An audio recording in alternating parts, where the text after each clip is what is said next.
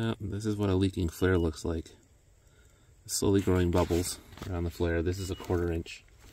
That looks huge in the camera though, but one thing I want to show you is if you look at your line sets, you see the clean shiny copper right near the brass nut.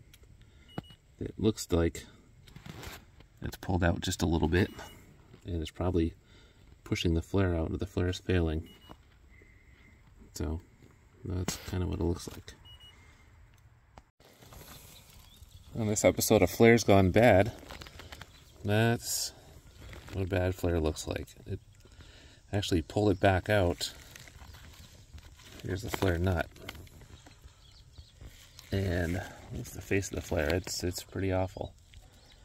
So luckily it didn't blow out. We were able to do a pump down and save what left, what was left of the refrigerant. So time to fix it. But that's what can happen.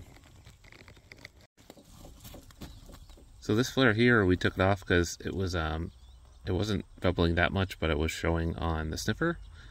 But when I go to wipe it with a rag, the rest of the flare came off in the rag. So it was clearly just about ready to fail. So thanks to the sniffer that caught that. This is what a proper flare should look like. See, it goes into the nut nicely. Just the right size.